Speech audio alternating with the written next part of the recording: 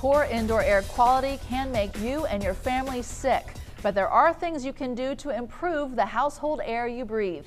Welcome to today's news update, everyone. I'm Jenny Dunn. Smoke, dust, and other airborne contaminants can cause runny noses, itchy eyes, headaches, and other symptoms. You can do a lot to clear the air in your house easily and inexpensively.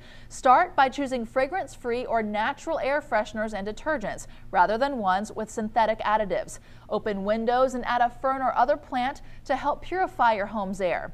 Identify moist spaces in your home that can attract dust, mites, mold, and mildew. A basic dehumidifier should handle most humidity problems. Use an indoor humidity monitor to keep humidity levels between 30 and 50 percent. There are paints on the market that can help reduce common indoor odors, such as smoke and cooking odors. Look for zero VOC formulas, which also reduce some indoor air pollutants from household items like carpet, cabinets, and fabrics. For more helpful tips, visit sherwin-williams.com slash homeowners. Thanks for watching today. We look forward to seeing you next time.